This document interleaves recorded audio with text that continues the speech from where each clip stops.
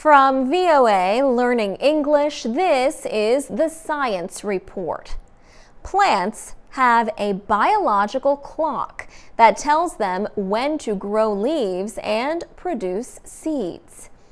Understanding that clock may help scientists develop crops to feed a growing population in an increasingly warmer world. Experts have said the expected growth in the production of major food crops would not be enough to support the human population by 2050. Rob McClung is a biologist at Dartmouth College in the United States.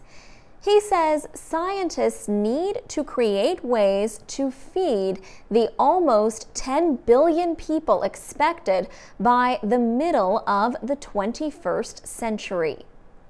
He says estimates show that the world's food supply will have to increase by about 50 to 60 percent over the next 35 years.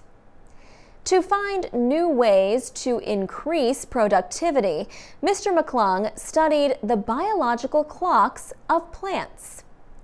He found that different genes in plants affect the clock.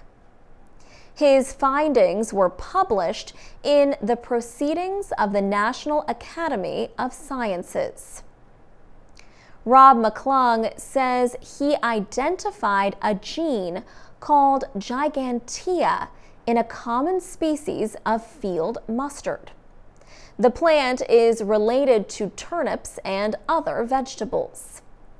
The gene speeds up or slows down the rate of development in the plant.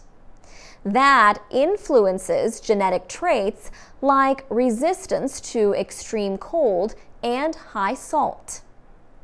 Mr. McClung says the hope is to give researchers a molecular tool to produce more crops.